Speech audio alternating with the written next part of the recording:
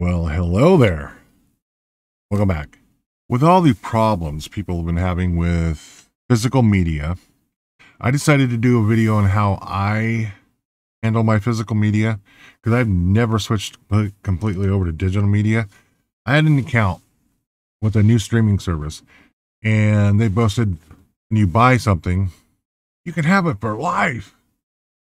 Well, I knew that was BS. And uh, when you uh, stop paying or lose access to your account, you don't have access to that video anymore or that movie, which is what happened to me. Uh, we paid for a movie that was like, I don't know, popular. I think we paid like 20 bucks for it. This is what cured me of that five, six, five years ago, I think when, when it started. Um, no, it was four years ago, four and a half years ago. We got it right before COVID hit and we got the movie. And I, like so many other people, found myself in the unemployment line because of overzealous, uneducated bureaucrats. So I couldn't keep up on my bill on it, so I lost access to the movie, which cured me of uh, trusting the streaming services. Back then, you had more digital rights than you do now. Take a look at Sony all those movies you guys paid for, all that money gone. So, like I said, I decided to do a video on how I take care of my digital media. Um, I'm going to show you how to make a DVD and then how to change the format of the DVD where you can host it on your personal media servers like Jellyfin which is what I recommend the most. Emby, which is the number two. And then if you guys are partial to it, Plex Media Server, which I do not recommend because of their uh, ability to mix what they want to sell you with your library, which gets confusing. I tried that out for a week and I was like, nope, not for me. Now let's open up some stuff here. Okay, now this is how I do it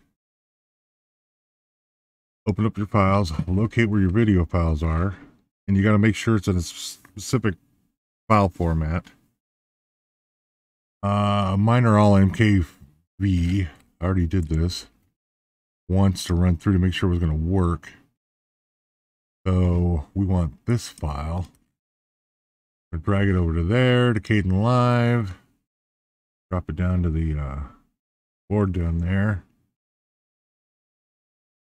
project, render,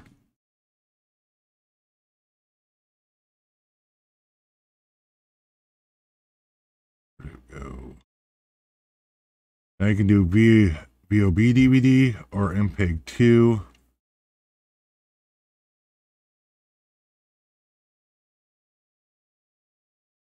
I usually do the VOB DVD and we're going to render it to file want it in a specific folder so.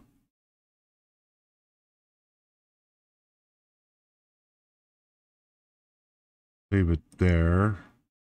I'm not worried about naming it. Quality as high as possible. Go to presets. Go to threads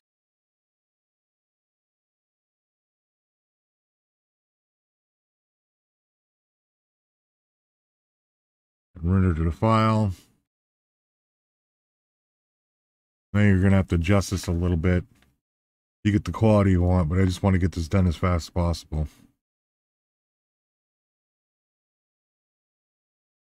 So I'm going to go ahead and pause this while this is doing this. And I'll be back in just a moment. All right, one minute later. Close that out. You can save the Save the file for later for brand for bringing it up, but yeah, I probably should have switched that to 1920 by 1080, but oh well.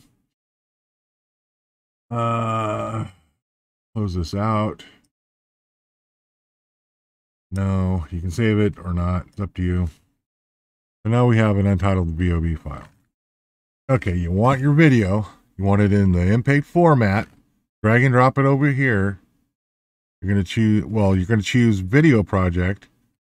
Well, Brasero, the program, video project, drag and drop it over there, highlight it, click burn. Going to ask for this, and hopefully this works. If it doesn't, I'll have to try NTSC. Got an error. Close. Burn.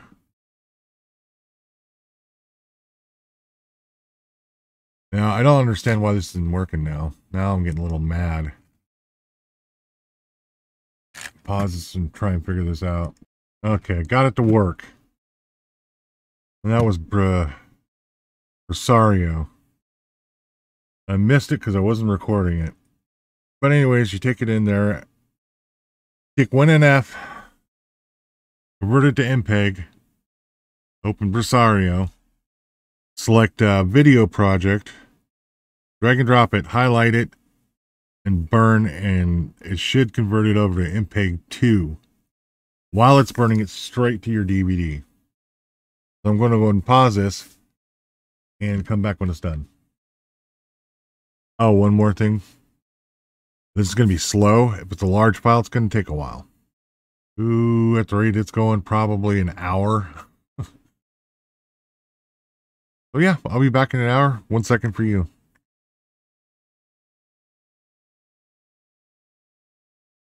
Well, it looks like she's done. Let's put her back in. Here we go.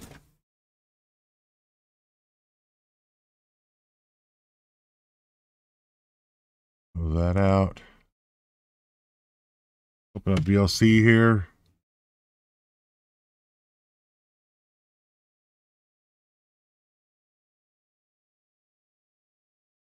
Sure this works.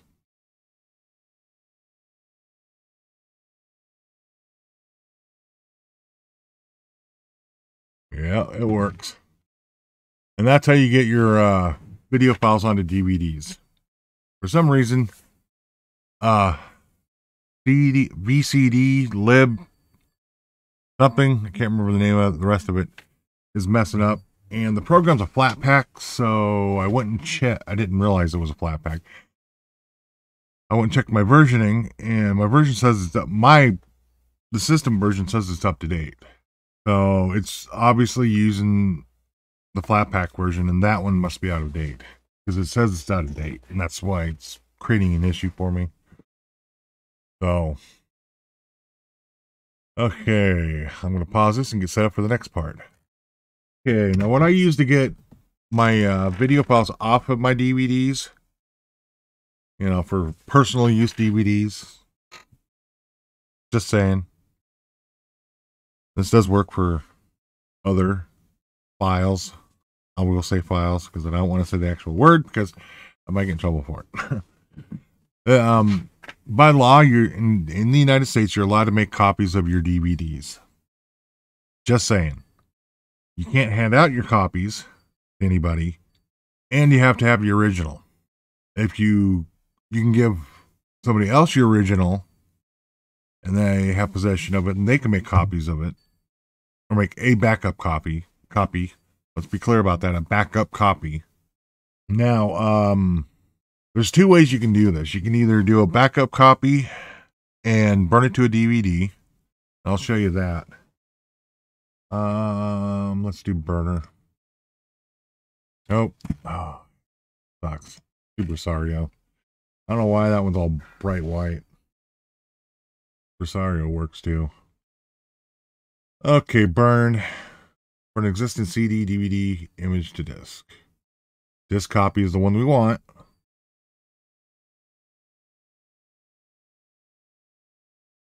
Now, you can click copy and it'll do a direct copy of the one that's in your DVD. It'll put it in your uh, in the RAM, hold it, tell you to put in a blank DVD. You put that in, and it'll copy it that way.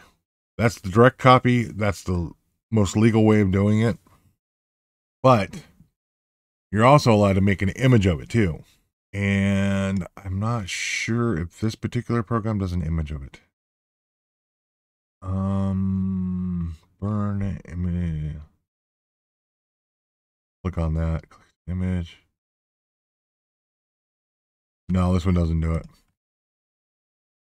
Let me switch to the other one. Um,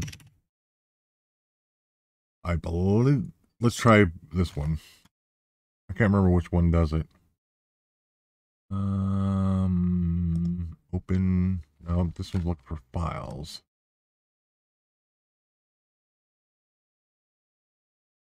So,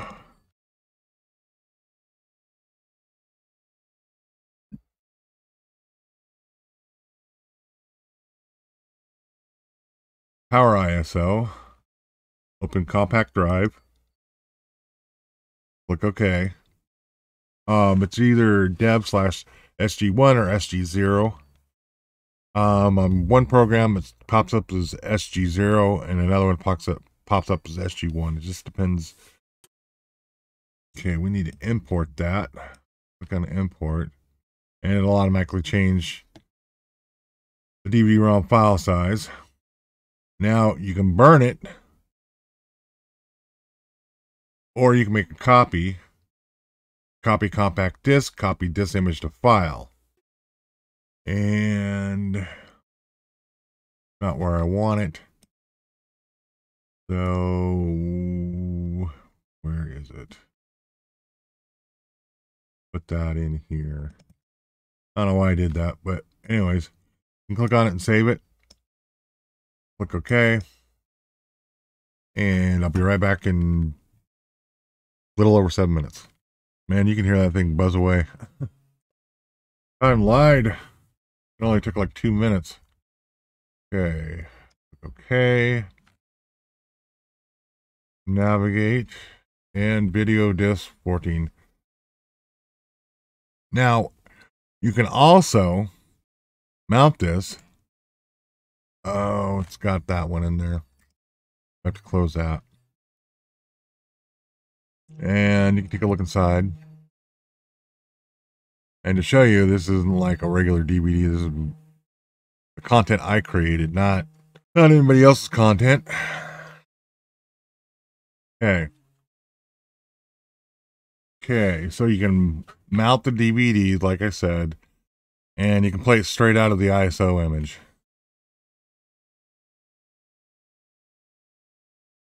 Um, now to extract out of a DVD, you'd want to use, oops,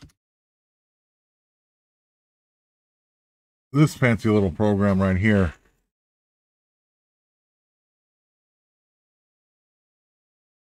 What this thing does is it's going to read the disk and you click which folder you want it in. Uh, where am I? Thing never goes all the way on the screen. I don't understand why. Okay, I want it back in here. Create a new folder for that.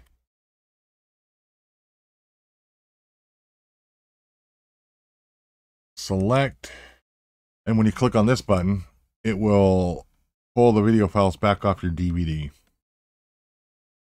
you know, the DVD with your own personal content on there. That's going to take a couple minutes. I'm going to pause it and talk a little bit more about copyright infringement. Okay, it's completed. Close that out. Open up your folder, and this is what it's going to look like. Oop. Wrong folder. Excuse me, that's the right folder. I'm too used to making copies of my uh, DVDs. Um, what you'll see is multiple video files, more like uh, more like this, but it'll have uh, designations of A1 floor dash T00, T01 down the line. So what you need to do is this is this is a gray area to do it. So what you would need to do is open up a video editor. You get the movie back together, figure out which video files and which order they go in and restitch it back together. Like I said, that's an extremely gray area. I don't recommend anybody doing it. Something you probably shouldn't do. I would recommend just doing an ISO image or burning it back to a, backup disk. But there's the option. I'm just saying. And the only reason I'm saying this is because what happened to all the PlayStation users. I used to hold them in high regard until that happened. I know a couple people that spent hundreds of dollars. I'm talking close to like eight hundred dollars on their on their videos, on their movies that they supposedly owned. Gone. Eight hundred bucks. That's theft. It's the only reason why I'm suggesting to use that uh, function. But in the United States, I'm pretty sure if it's just a copy of it, you're okay. Now, if it's a one for one copy, you're definitely okay. And as long as you don't hand that, those copies out, you can hand the original out, but not the copies. Because you can hand the copies out, you're you're breaking copyright law. Okay, now I draw now I uh SFTP'd into my my uh local media server, which is Jellyfin, and I dragged and dropped this video in the into my uh TV folder. So I have another way for you uh pause this and I'll be back in just a minute. Okay. Oops. Where is it? There it is. I'm going to go into my Jellyfin server. Okay, now we're inside of my server. Media. Uh, that's what I call it. And this is the Jellyfin server. Now that's the video. Okay, we are loaded up into VirtualBox. And we're going to take a look at Debian 12.0. Now, there we go. And now I'm recording my video from my server, my streaming server. That's a way to get uh, videos off that you can't get off for DVD. Just grab, you know, video files that you have somewhere else that you can't that you don't have access to that's on a different system you can stream it and record it inside your network your own video files. Don't do this uh, for anything else because it's illegal and that's my two cents on it. So those are some of the ways you can uh, work with your own personal files like your uh, wedding video files put it on a dvd you can save it on that format. If you have them on an old DVD, you can rip it back off and put it into an ISO format, whatever file format you want. Now you're gonna have to mix and match and figure out what works for you. I just showed you a few ways. So that's it for this one. I will see you guys next time. I got a lot of editing.